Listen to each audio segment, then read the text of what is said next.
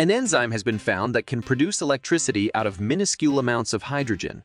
A team of Melbourne scientists from Monash University have isolated an enzyme from soil bacteria that can convert atmospheric hydrogen, H2 present in air, into electricity that has the potential to be developed into a renewable power source for small devices.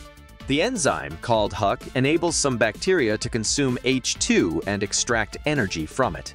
The Australian researchers have isolated an enzyme they call hydrogenase, which they named HUC for short. This enzyme allows some bacteria to consume hydrogen from air and extract energy from it. They found that the enzyme can produce an electrical current directly even when it is only exposed to the tiniest amounts of hydrogen. In fact, even when it was isolated from bacteria, Huc was able to consume whiffs of H2 that was too faint to be detected by the researcher's gas chromatograph, which is highly sensitive to gas and used to measure gas concentrations. Additionally, the scientists discovered that Huc appears to be entirely uninhibited by oxygen, which has not been seen in other H2-consuming catalysts. To assess the enzyme's ability to convert atmospheric hydrogen into electricity, the team used a technique known as electrochemistry. This technique revealed that Huc is capable of converting minute concentrations of H2 in air directly into electricity that is able to power an electric circuit.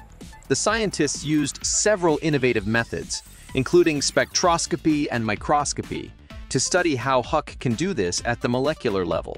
Atmospheric hydrogen could be utilized to power devices of the future. While it is still early days for this renewable power research, the enzyme may have considerable potential to one day power small, sustainable air-powered devices as an alternative to solar power.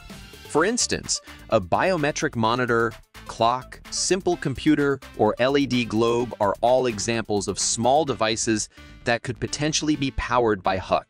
According to the researchers, another application it could be used for is HUC-based bioelectrical sensors for detecting H2.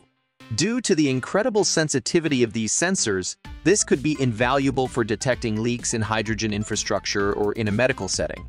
For now, however, several technical challenges must be overcome before the full potential of HUC can be realized. The scientists' research paper, Structural Basis for Bacterial Energy Extraction from Atmospheric Hydrogen, was recently published in the journal Nature. I'm Jake Martin. Like what you've seen so far?